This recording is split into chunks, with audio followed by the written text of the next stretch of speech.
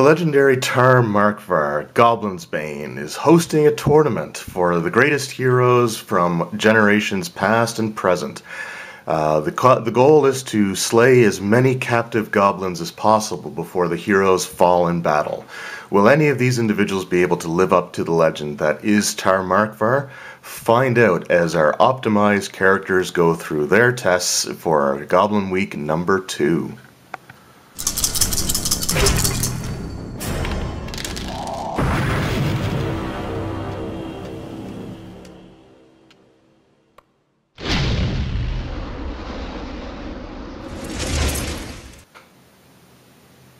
Hello everyone, Dave here again. So this is the first video in our second week of Goblin tests. Now this is with our optimized builds, and if you didn't see the announcement video, which was actually was meant to go up the day before, but it uh, uploaded earlier today, uh, the optimized characters were done differently than the original uh, edition's character creation methods. So in the first week I did what would be the standard uh, character creation guidelines for all the different editions of Dungeons & Dragons, or at least the numbered editions. So Zero Edition, I know it technically has a number, uh, although it's I guess referred to normally as original D&D. I didn't do that one and I don't own the basic rule, so I wasn't able to do that. Uh, so for first, second, third, fourth, and fifth edition Dungeons & Dragons, I'm creating an optimized set of characters now. So where the first one used the generation method 1 uh, for whatever edition it was, be it uh, 3d6 down the line for first and second edition AD&D, uh, 4d6 dropped the lowest for th third edition and uh, fifth edition, I think it was, and the standard array or an array of ability scores for 4th edition. Uh, with the optimized characters, uh, what I'm going to do is actually, or what I had done, is I created fighters using a set range of ability scores. And what it is, is it's a strength of 18, uh, dexterity of 12, and a constitution of 16, with all the other stats being 8. I'll show the character sheet off here in a moment. Uh, other considerations, when I was working on the original week's uh, set of um, tests and characters. The one thing I wanted to do was try to have things as, as close to each other as possible. So I wanted to have as uh, similar in equipment as possible. So most of them ended up having chainmail and a longsword and shield. Uh, now, the only difference with that was I think the third edition character, uh, Chainmail, was a much more expensive suit of armor, so they got scale instead. Uh, but mathematically, scale ended up adjusting uh, just as much as chain did in previous uh, editions. So with the uh, the optimized characters, all that's kind of thrown out the window. So uh, I've got my first edition AD&D character here, and we'll take a look at him right now. Uh, so this is our optimized version of Athan Jasan. Uh, so as you can see, Strength 18, Intelligence 8, Wisdom 8, Dexterity 12, Constitution 16, and Charisma 8. Um, so with this character, as you can see now in the AD&D days, if you had an 18 strength and you were a warrior class, you could roll on the exceptional strength chart. Um, so you roll percentile. Uh, so for these tests, I did actually roll the percentile. I, I could have gone with 18 zero zeros, but I thought that was a little bit too much, so I did roll to see what we got. So the main things to note here is with our 18 uh, slash 80 percent, uh, our hit adjustment goes from what we had, I think it was zero for uh, the original character. Uh, so he gets plus two to his attacks now, and a plus four uh, damage adjustment. Uh, now there's also things like open doors on a 1 to 4 and bend bars 30%. That's not really all that pertinent. Uh, with 16 Constitution, we also get plus 3 hit points. Uh, now, with the hit points also, because this is an optimized build, I'm giving maximum hit points to the AD&D characters since they would normally roll. Uh, the goblins, which would also normally roll hit points, are also going to have a fixed amount. Uh, it's not going to be their max, but it is going to be uh, four hit points for every single goblin. Uh, now, with this, I also wanted to get the best equipment possible, so my starting gold was 160. So I was able to afford banded mail instead of chain mail, which reduces my armor class from 4 with the standard build, or with the chainmail armor, down to 3. So my armor class is 1 better than it was before. Uh, my hit points are 13. I think they were 8 before, so I've now got uh, 5 extra hit points. And uh, since the goblins have 4 hit points themselves, uh, pretty much guaranteed to kill uh, the goblins on any hit. and the this version of the fighter hits the Goblin's armor class of 6 on a d20 roll of 12 or better. Other than that, the Goblins are pretty much the exact same. Uh, so what the Goblins have, and I'm just going to move this over onto this side, since I am left-handed and I want to keep track of stuff, it's best to have that there. Um, so, uh, yeah, so the character is going to be a lot, this is going to be a lot different, I think. Uh, the first edition AD&D character in the original set of tests was probably the second, uh, well, it wasn't probably, it was the second weakest of all, with the fourth edition fighter being uh, the lowest overall total. So I think this one may be quite a bit different, uh, and the reasons for that is uh, with this character, any hit's going to kill the goblin. Uh, instead of having to roll, I think it was a 14 or greater to hit the goblins with the first character, I can now hit a goblin on a 12 or better, and it's a guaranteed kill because I do a minimum of 5 damage. So I guess I technically don't even need to roll the uh, the damage dice for the goblins. And unlike the last set of tests, this is actually going to be the first round of combat for each of the editions. Uh, because I'm doing this as just one set of battles per day, it's going to make it a lot more manageable. Uh, so, we've got everything set up. Uh, so these are dice. Hopefully they'll show up pretty decently on the camera. I'm going to try to roll them as close to the goblins as possible. You don't really need to see my uh, initiative track or anything like that. So this will be the dice for my uh, fighter. Um, so there were a few things that um, people had mentioned about uh, the AD&D stuff. One of the things people wanted to see was uh, adjustments for weapon type versus armor. And I'm not really going to do that in these just because it's another set of modifiers that I don't really want to keep track of. and I'm going to be honest, if I do want to run an AD&D game, and I don't think I'm going to use that uh, rule in my uh, first edition AD&D game, just to kind of keep things simplified. Uh, another thing that I had considered is when it comes to initiative and weapon speeds. Now, uh, with AD&D, it does say that weapon speed normally doesn't play much of a role.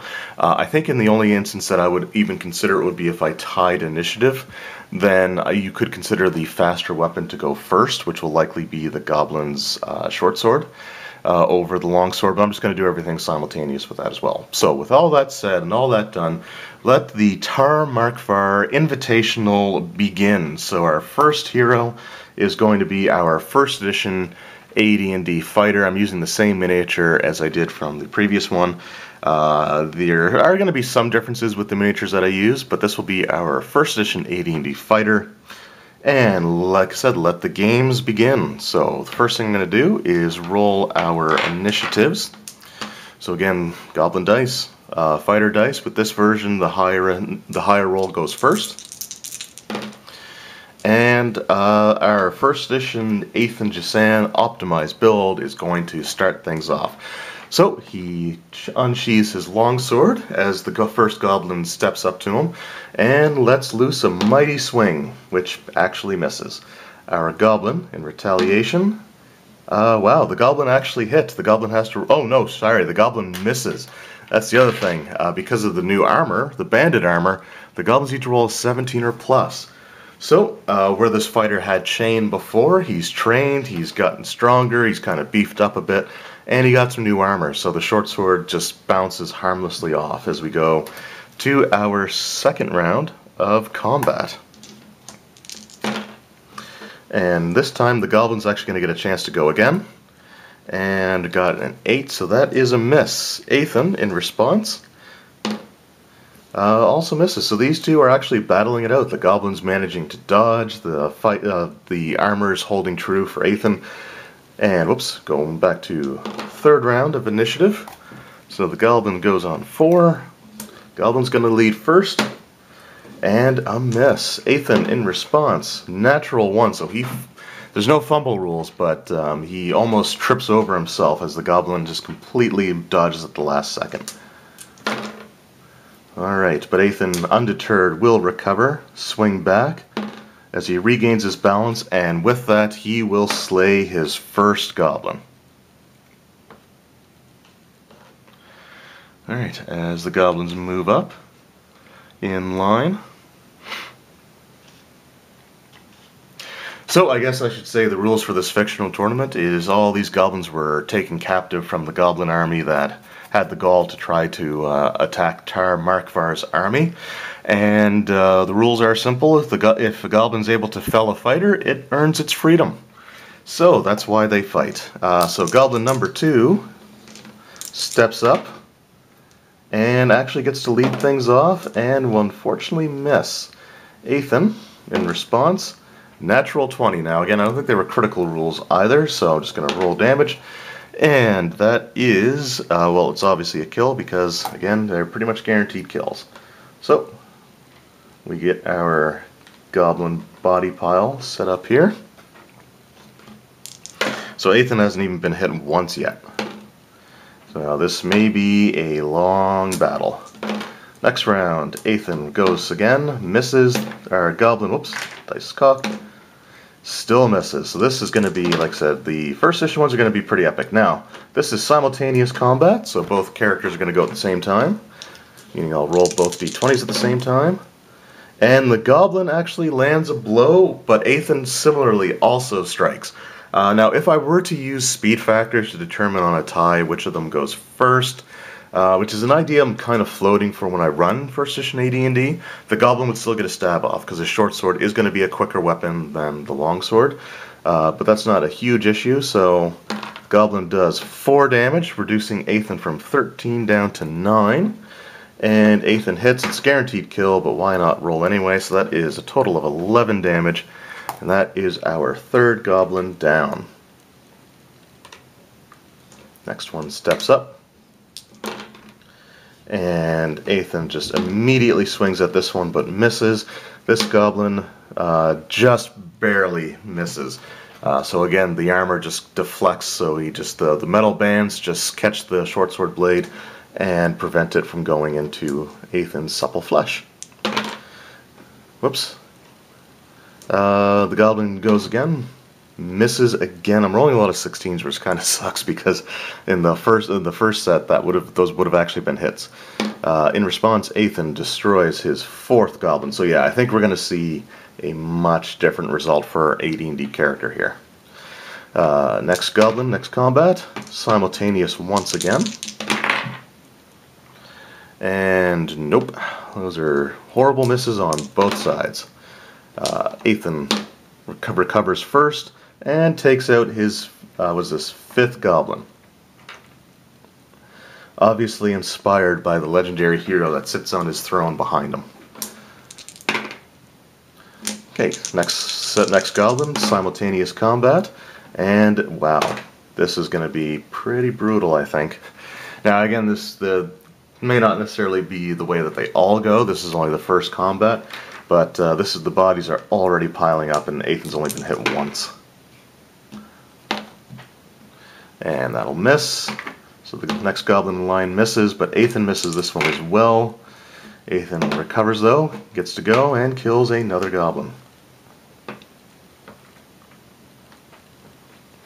Uh, so even if I were to have rolled the hit points, um, really honestly, I think what I actually might do is a second set where the goblins have max as well, just to see what happens. Um, I'll think about that one though, and if I do, it'll be a bonus video. Uh, so another goblin moves up, another set of initiatives. Alright. Oh, so that goblin hits Ethan once again, so rolling a 19, just slipping it through the bands of his metal armor uh, for 5. So that's actually a pretty good hit. So Ethan is down to 4 hit points. He is now in risk of dying from the next attack. In retaliation, he rolls a cheese, natural 20. Uh, so again, uh, I'm just going to say that's going to do max damage because he kills the goblin anyway. So, again, the, the body pile is picking up here.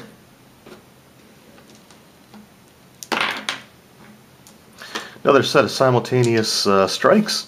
So, um, now again, with first edition AD&D, and I mentioned this is the first one, but if this is the first uh, of these videos that you're watching, uh, first edition and second edition AD&D, a combat round lasts for one minute. Uh, it's funny because I actually make comments on how they could do uh, shorter rounds, but that would just, you know, it wouldn't feel right, I guess, from their perspective.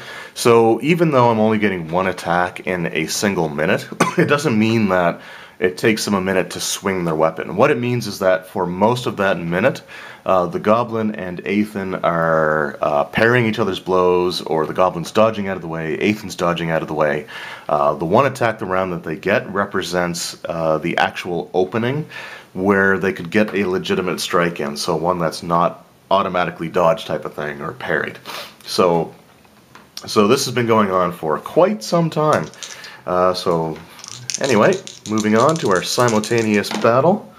Uh, both miss. Next round. So Athen recovers first and strikes down another goblin. Another one steps up, hoping to earn its freedom. They both go at the same time. And they both miss. Next round, once again. So these two are in sync. Uh, and then Athen just absolutely obliterates them.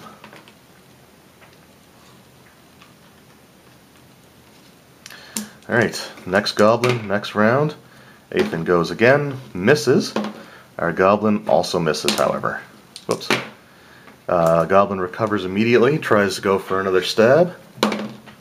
And nope. And Athen hits another one. This is, wow. So like I said, when I said things were going to be a little bit different this time around, I meant it. Alright, Goblin goes first. And that is a miss. Athen in response. Wow, another natural 20. So, uh, that is 6 points of damage to our 4 hit point Goblin. Down he goes. Simultaneous battle. And both miss each other. Next round, the Goblin gets the first opportunity. And hits so this goblin actually manages to find a way through the seams of Athen's armor and hits him for uh, four points exactly. So that brings Athen down to zero. So with that, this goblin earns his freedom. He is pardoned for his crimes, immediately runs out, and this goblin goes back to the cells for the next day's set of battles. So, how did our first edition fighter do? Uh, well, he took four hits. Uh, well, sorry, one, two, sorry, he took three hits before he was downed, um, which I think was about on par with the with the other ones, but again, took a lot more attempts before he was finally hit, even for the first time. So the body count is one, two, three, four, five, six, seven, eight, nine, ten, eleven, twelve goblins killed. So 12 goblins on the first round or the first day of this uh, this battle. So, again, now, is that going to be, in you know, does that indicate how the rest of these battles are going to go? It's hard to say. I mean, the dice rolls were definitely what they were, and that dictates a lot of what's going to happen. Uh, but as you can see, uh, this is quite a difference. I don't even think, uh, with the first set, just a second here, because I have my results back here. So, with my first set, um, I only, the most I ever got was actually nine. Uh, it was nine goblins, and that's when I was rolling the hit points uh, randomly. So that first edition with the standard build only averaged to 3.2 goblins killed uh, per battle. So we'll see what happens with these optimized characters. So this, like I said, this was day one, and uh, so far, whoop, if I can get it to focus, Tar Markvar uh, back there, like I said, on his throne. So our hero is taken away and his wounds are healed. He's bandaged up and he's ready to go go for more of these tests. But in the meantime, uh, Athen is pleased. He dismisses the rest of the fighters. So our second edition fighter, our third edition fighter is going to be focusing on uh, two-handed uh, weapon and more of a damage dealer. I'm going to actually make her a female. And our 4th edition and 5th edition fighters are also here with us. they all are dismissed. They go back to their chambers, and Tar Markvar, weary from a long day of ruling and governing and witnessing people uh, slaughtering goblins in his name, uh, retreats to his room as well. So that was day one of our Tar Markvar Invitational. Hope you've enjoyed it, and uh, come back tomorrow when we look at our second edition AD&D Fighter. So again, thank you guys very much for watching. I hope you enjoyed. We'll see you then.